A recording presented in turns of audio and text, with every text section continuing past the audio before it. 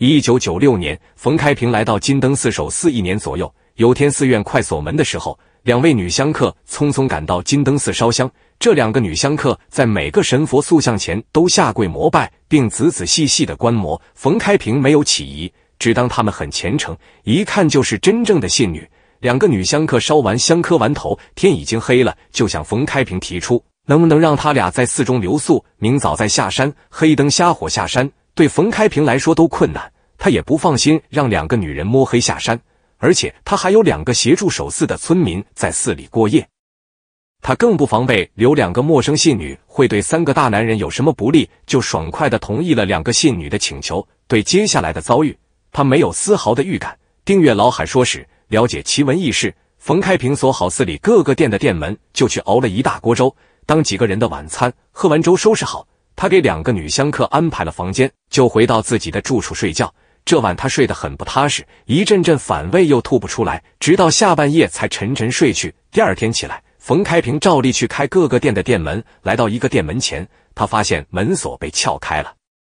推开门一看，店里的一排浮雕留下两个窟窿，那是浮雕被挖走后留下的痕迹。他顿时感到从头到脚一股寒意袭来，一瞬间令他骨头都凉了。冯开平赶紧跑去查看两个女香客的房间，果然房间里已经空无一人。他又去询问协助他守寺的两个村民，两个村民说他们昨晚也出现了冯开平的症状。三人这时明白过来，两个女香客在昨晚的粥里下了药。冯开平让两个村民在寺里守着，自己下山到二十五公里之外的玉霞关镇派出所报案。金灯寺位于山西平顺县。孤悬在悬崖峭壁上，离最近的村子也有四公里的直线距离，山路绕行距离更长。冯开平来到来金灯寺好多年，金灯寺都没有通电通电话，他也没有手机。遇到盗抢发生，守寺人很难找到救援。冯开平刚来金灯寺时就是觉得不安全，于是他用香火钱，以每人每天八元的工资，请了两个村民协助看守。结果还是发生了文物被盗的事。金灯寺始建于北周。明代从正德至万历年间，历经四朝扩建，开凿了很多石窟、塑像、浮雕，都有较高的文物价值。一些不法之徒垂涎金灯寺的文物，被女香客下迷药之前，冯开平就遇到过试图偷盗的人。不过女香客这种偷盗手段，他连听都没有听说过。下迷药偷盗还不至于要命。不久后，冯开平遇到一群硬抢的，差点丢了性命。那次是四个强壮的年轻人一起来到金灯寺。当时只有一个协助守寺的村民在，冯开平觉得四人不是善类，就和村民紧跟着四人到一个店内。有个年轻人突然扭过头看向冯开平，问了他句莫名其妙的话：“这佛像会不会动？”冯开平回了句：“我怎么知道？”话音刚落，这个年轻人猛地出手卡住他脖子，他的同伙也扑上来把他摁在地上。这几个歹徒早有预谋，其中一歹徒从兜里掏出麻绳，要捆住冯开平的手脚。冯开平拼命挣扎，大喊大叫。又有个歹徒掏出匕首，刺伤了他的腰部，鲜血一下就涌了出来。冯开平和村民两个人。斗不过年轻力壮有凶器的四个歹徒，最终冯开平被捆住手脚，关到厨房。村民被关在一间厢房，还好冯开平伤不是很重。他听到咚咚咚砸墙的声音，着急的想要挣脱。就在他借着厨房一把锯子锯捆住的麻绳时，他四肢因捆绑血流不畅，突然开始猛烈抽筋，疼得他在地上不停翻滚。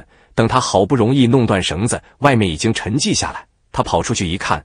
歹徒没有取走塑像或浮雕，可一些浮雕的凸起部分已经被歹徒砸掉。这几个歹徒没有一点技术含量，却很暴力，搞不走文物，还差点害了冯开平的性命。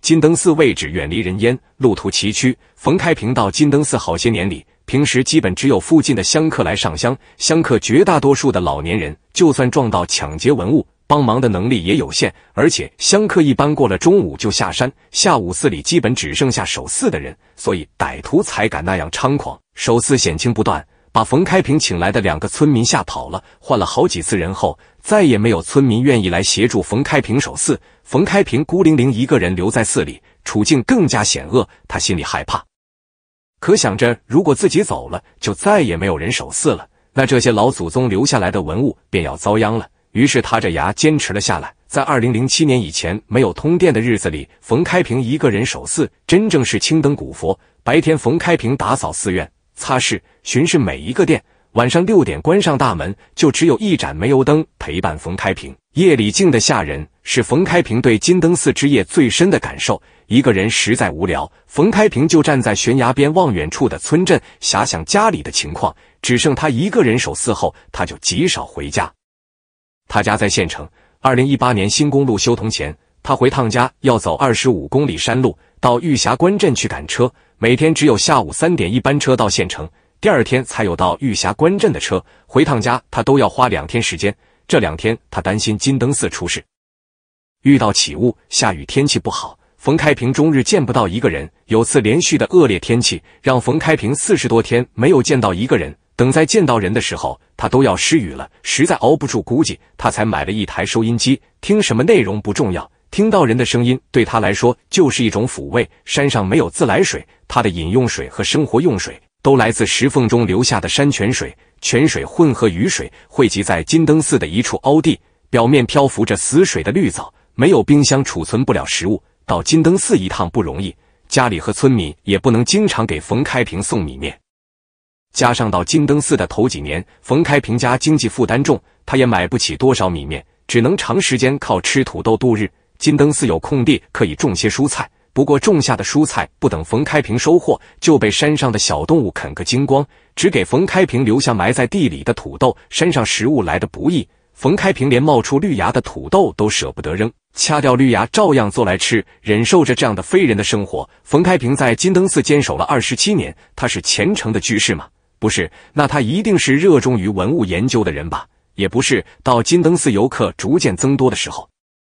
常有游客问他塑像、浮雕的一些具体问题，他一概不知道。他只知道金灯寺始于北周，有金灯飞入寺中的传说。二零零八年，县文化局给冯开平安了个金灯寺管理所所长的职务，那时他的工资是每月一千三百元。这个收入水平在当时县一级的地方也不算高。冯开平独自在金灯寺坚守二十七年，就凭着这一个朴实的信念：有些事总得有人干。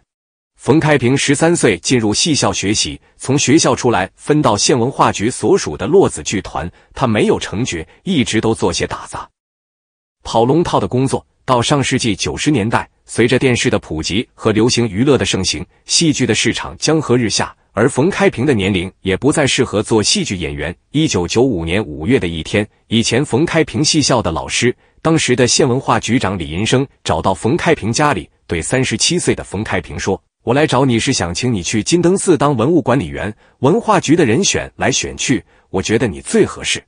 冯开平从来没有想到会给安排这个工作。局长走后，冯开平等妻子孟喜梅回来给他一说这个事，孟喜梅立刻就炸了。他觉得冯开平一点也不适合这个工作。他们有两儿一女，最小的儿子才一岁。冯开平到离县城六十公里的金灯寺出家，那孩子怎么办？见冯开平犹豫的样子，孟喜梅把小儿子塞进他怀里，没好气的说：“你问问你儿子答不答应你去。”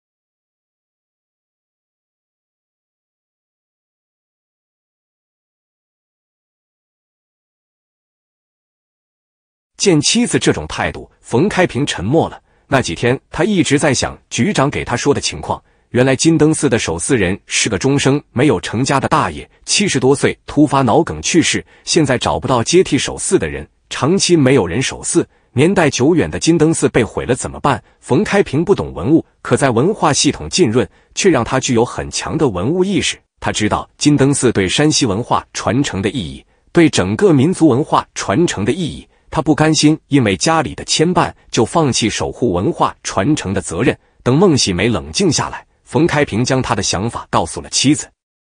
孟喜梅听后久久没有说话，但也不再阻拦他去当守寺人。冯开平一出家，照顾三个孩子的重担就落在了孟喜梅身上。冯开平把微薄的守寺人工资都交给孟喜梅。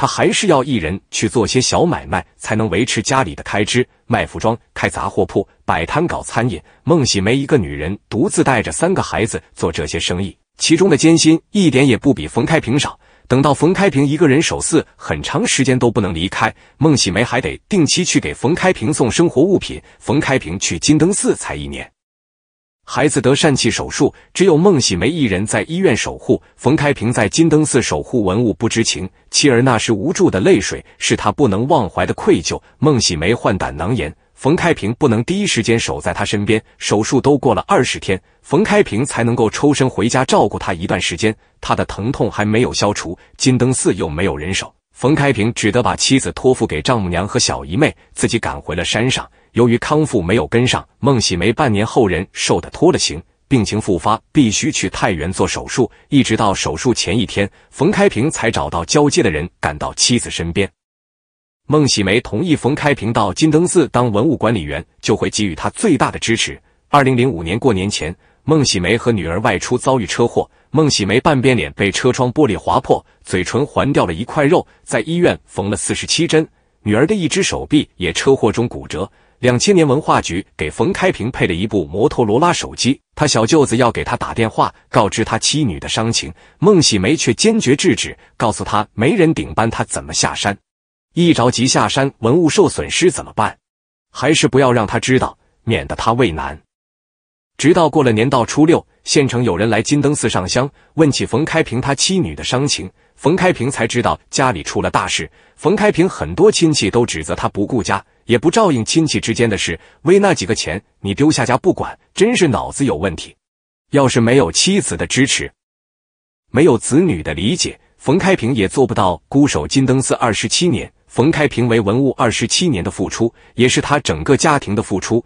这二十七年有将近一半的时间，冯开平在金灯寺的生活都如同原始人一样。二零零七年，金灯寺终于通电，可山上的电路一遇下雨就狰狞恐怖，电线上蓝色的幽光哧哧作响，像是随时要爆发出毁灭的力量。每到下雨天，冯开平都要去没有通电的房间睡觉，继续让那盏油灯陪伴他。通电又给冯开平带来了另一种烦恼。不过，通电带给冯开平的好处，肯定比烦恼多得多。他用手机可以敞开用，再不会担心电池的电耗光，要下山到村民家充电。通电三年后，金灯寺装上的监控，加上新公路修通，游客增多，金灯寺的安全状况有了很大改善。冯开平一人守寺，不再像以前那样提心吊胆。二零一四年。当地政府开始对金灯寺进行大规模保护性整修和加固。这年春节，孟喜梅第一次在山上和冯开平夫妻相守。以前孩子小，金灯寺又凶险，冯开平从不敢让妻子在金灯寺留宿过。这个时候，孩子大了，已经外出打工，寺里通了电，生活方便不少。夜里山上又有整修金灯寺的工人，安全不成问题，冯开平才敢留妻子在金灯寺过年。不过，金灯寺的安全状况改观，并没有减轻冯开平的责任心。整修工程进行的几年中，山上挤满工人，工人们做饭邀请冯开平一起吃。冯开平每次都舀一碗饭加几筷子菜，就端回寺里去吃。他随时都记得，看好文物是自己的职责。金灯寺整修那几年，家人来看他，给他送米、面、奶粉、菜油，可以留在山上过夜，比较方便。不过工程结束后，为了家人的安全。他还是始终一个人守寺，安全性提高，只是相对于以前，他不会让家人跟着他冒险。整修工程完成后，山上有了联通的基站，手机信号得到很大改善，在寺里拨打、接听电话都比较畅通。以前他打个电话要跑很远去找信号，有时打着打着就会中断。整修完成，游客更多，是又一件让冯开平感到高兴的事。同时，游客增加也引起冯开平一些不快。有的游客往金灯寺的水池里扔钱求好运，甚至有些游客在水池里洗手洗脚。冯开平的饮用水也要从水池里取。他一次次劝阻游客，都不能杜绝这些不良行为。时间久了，他也就不再白费口舌。不过，社会上大多数人都很尊重冯开平的工作。二零一七年，冯开平被中国往事感动二零一七评选为年度网络感动人物。二零一八年。他又连获第六届长治市敬业奉献道德模范和全国文物系统先进工作者两个奖项。到北京领文物系统奖项，冯开平特意带上了孟喜梅。守金灯寺这些年，冯开平哪儿都没去过，连带孟喜梅一个人操持家庭，也哪儿都去不成。冯开平觉得欠妻子最多，到北京一定要带上妻子。来到北京，国家文物局的领导。陪同冯开平一行游览了故宫、八达岭等景点，向基层的优秀文物工作者表达了崇高的敬意。孟喜梅很高兴，她不仅第一次实地领略到首都的风采，还感受到冯开平工作的重要意义。他庆幸自己多年的付出没有白费。冯开平的事迹也感动了很多网友。